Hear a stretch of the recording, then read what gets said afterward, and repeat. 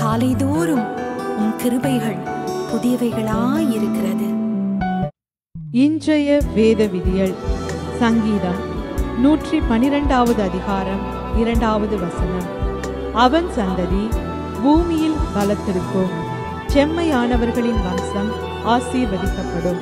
ஆம் பிரியமானவர்களே இந்த நாளிலோ தேவன் கொடுக்கிற வார்த்தையானது கர்த்தருக்கு பயப்படுகிறவர்களின் சந்ததி பூமியில் வளர்த்து அவர்களின் வம்சம் ஞானத்திலும் வளர்த்தியிலும் தேவ கிருபையிலும் நாளுக்கு நாள் வளரும்படியாய் தேவன் அனைத்து ஆசீர்வாதங்களினாலும் தேவன் அவர்களை ஆசீர்வதிப்பாராக. கர்த்தர் உங்களை ஆசீர்வதிப்பாராக. ஆமேன்.